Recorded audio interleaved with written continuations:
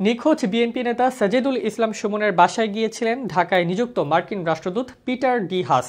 বুধবার সকাল নয়টা পাঁচ মিনিটে রাজধানীর শাহিনবাগে সুমনের বাসায় যান তিনি। পরিবারের সদস্যদের সঙ্গে পঁচিশ মিনিট সময় কাটান তিনি।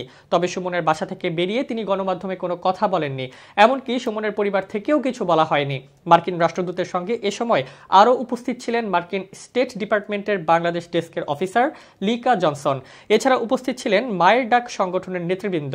দু হাজার তেরো সাল থেকে নিখোঁজ রয়েছেন সাজিদুল ইসলাম সুমন।